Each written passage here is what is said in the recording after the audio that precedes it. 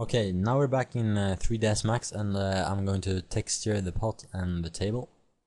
So uh, I'll start with the table here. I press M to uh, open the material editor and then uh, just navigate to the folder with the textures and drag and drop it on the material icon and uh, to be and it's very good to name things. To maybe this project doesn't have so many materials but when you uh, uh, have uh, many different objects it's uh, kind of confusing if you don't name them.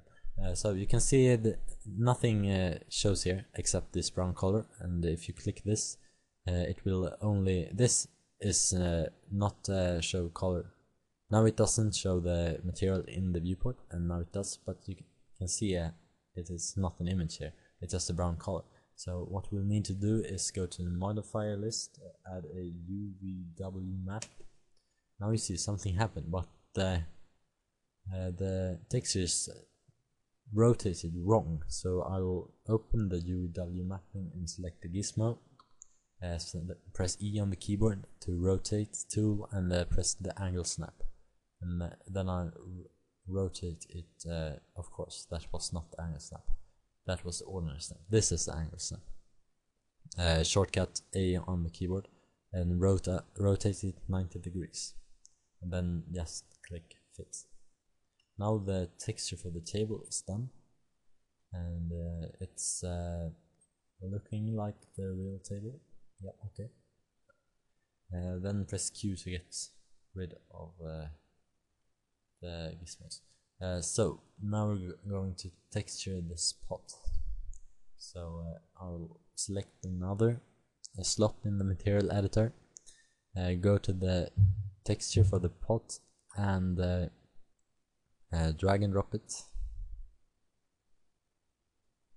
and uh, drop it on the pot. You can see it's rotated too, but adding a UVW map modifier will help uh, not very good yet. Uh, select the cylindrical alignment to X and uh, fit.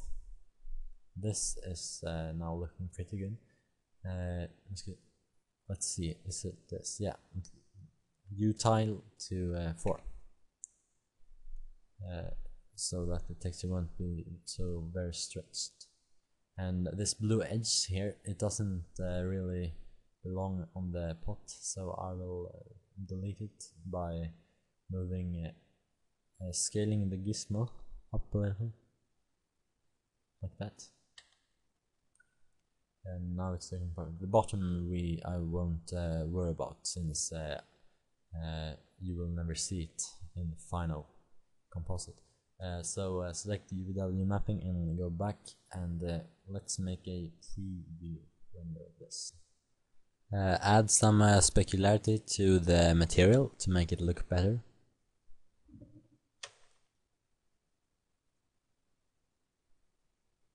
It's already much better. We have this highlight here. And uh, that is what we want. Uh, yeah. And uh, now I am going to... Uh, as you can see in this final uh, composite here. Uh, the uh, the pot is uh, reflecting the table. Here you can see it uh, kind of well here. Uh, you can see it's a little brown down here.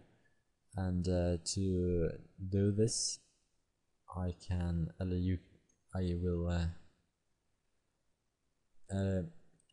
I could uh, make it uh, reflect this table. So uh, this is what I'm going to do. I've gone ahead and uh, made a map uh, for uh, this for the uh, pot and it looks like this and it is easy to do so I will not cover this in cover that in this tutorial. So I'll go ahead and uh, open the material editor. Uh, go down to maps, reflection, add a mask. Uh, the map will be ray trace. Okay. And the mask will be, I can just drag and drop this texture. If I make this, you can see now that when I click invert mask, it reflects the surface. It reflects only on the below here.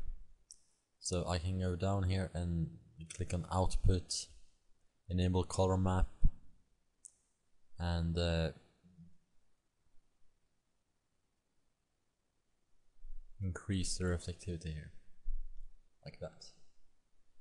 Then I go up a few levels, decrease reflection to maybe 26 and uh, now let's uh, move uh, this uh, into position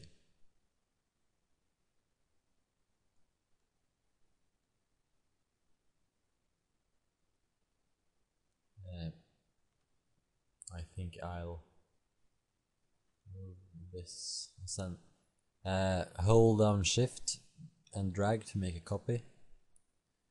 And uh, click take instance and uh, maybe three of them.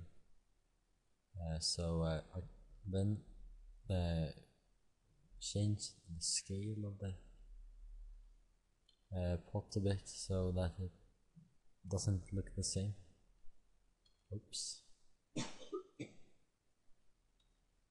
and uh, make uh, different copies here.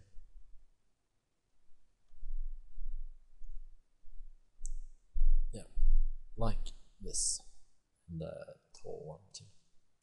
So not so create a uh, go to the create panel lights and uh, down to standard and uh, create a skylight on the floor there.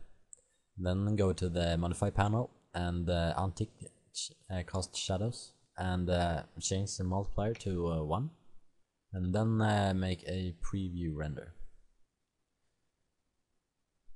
Here it looks uh, good. No shadows. Uh, this is this is going to be the first pass in uh, which we will only have the diffuse colors.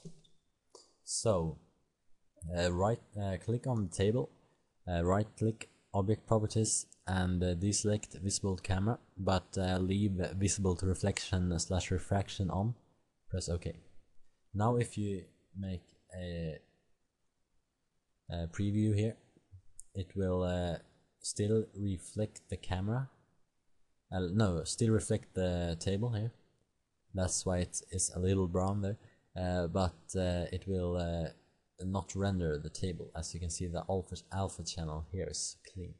Uh, so uh, now to render this uh, go to uh, render setup uh, check uh, active time segment and scroll down to files and go to diffuse no go to your output folder to diffuse here. And uh, I'm just going to overwrite these. Uh, type uh, diffuse here and uh, pick a png image file as the file format select save. And uh, make sure the view is uh, camera 1 and then hit render. Yes. And uh, then these will all be render out rendered out